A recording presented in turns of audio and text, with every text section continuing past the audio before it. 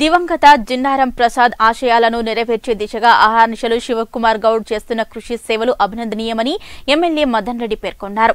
మెదక్ జిల్లా శివంపేట పోలీస్ స్టేషన్లో Prasad trust chairman Shivakumar Goud సహకారంతో ఏర్పాటు చేసిన సీసీ కెమెరాలను డీఎస్పీ కిరణ్ కుమార్తో కలిసి ఎమ్మెల్యే మదన్ రెడ్డి ప్రారంభించారు. ఈ సందర్భంగా ఎమ్మెల్యే మదన్ రెడ్డి మాట్లాడుతూ శాంతి భద్రతల పరిరక్షణకు నేరాల నియంత్రణకు సీసీ కెమెరాలు ఉపయోగపడతాయన్నారు. ఈ కార్యక్రమంలో Toopran DSP Kiran Kumar CA Swamy Goud SI Ravikantharao MPP Harikrishna ZPTC Mahesh Gupta PSES chairman Venkatramareddy గ్రంథాలయ సంస్థ చైర్మన్ చంద్రగౌడ్ జడ్పీ కోఆప్షన్ సభ్యులు మన్సూర్ మండల పార్టీ అధ్యక్షులు trust incharge Ramana Goud Madhavareddy sarpanch Srinivas Goud ASI MPTC Satyareddy Misbayoddin trust member Bhikshapathi Yadav TRS నాయకులు కృష్ణారావు రవినాయక్ తదితరులు పాల్గొన్నారు.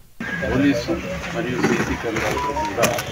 మరి చాలా సీసీ కెమెరాలు విపరీతమైన సీసీ కెమెరాలు పెట్టి హైదరాబాద్ అంతా మరి వాళ్ళ మన ముఖ్యమంత్రి గారు ప్రేత ముఖ్యమంత్రి గారు డీజీ మహేందర్ రెడ్డి గారు వారి ఆధ్వర్యంలో చాలా బ్రహ్మాండంగా చేసి ఇవాళ ఎటువంటి నేరాలను పట్టుకునే శక్తి ఇవాళ వచ్చింది.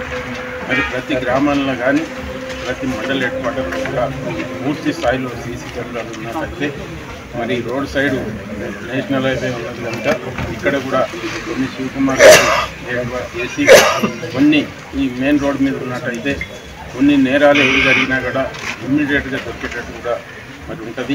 మరి మహేష్ గారు ఇప్పుడే చెప్పారు కొన్ని మా గ్రామంలో కూడా పెట్టి అయితే ఈరోజు నిర్ణయించాము సీసీ కెమెరాల గురించి ఇక్కడ సీసీ కెమెరాలు ఒక హైకోర్టు సీనియర్ ఈ రోజు ఒక లాయర్గా మాట్లాడతాను. ఒక హైకోర్టు సీనియర్ న్యాయవాదిగా నాకు శాంతి భద్రత విషయం కాదు చట్టాల విషయం కాదు. అది చట్టంలో చట్టాలు ఏం చెప్తున్నాయి చట్టాలతో లోపాలు ఏమున్నాయి తర్వాత పోలీస్ డిపార్ట్మెంట్ వాళ్ళ బాధ్యత ఏంటి? వాళ్ళ వాళ్ళ సమస్యలు కూడా నాకు తెలుసు. అన్ని విషయాలు నాకు తెలుసు. అయితే ఈరోజు ఈ నేరస్తుల పైన ఇంకా వచ్చే బాధ్యత పోలీస్ డిపార్ట్మెంట్. అదేవిధంగా నేరస్తులను చట్టపరంగా శిక్షించే బాధ్యత కూడా పోలీస్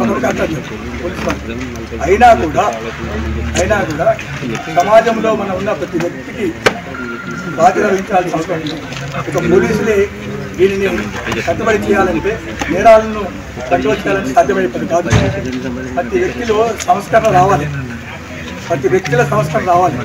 ఆ సంస్కరణ వచ్చిన వ్యక్తి తన కుటుంబాన్ని సంస్కరించుకోవాలి ఫస్ట్ కుటుంబాన్ని సంస్కరించుకొని తర్వాత గ్రామాన్ని సంస్కరించాలి. అంటే గ్రామంలో ఉన్నంత ఉన్న వాళ్ళందరూ సంస్కారవంతులు కావాలి.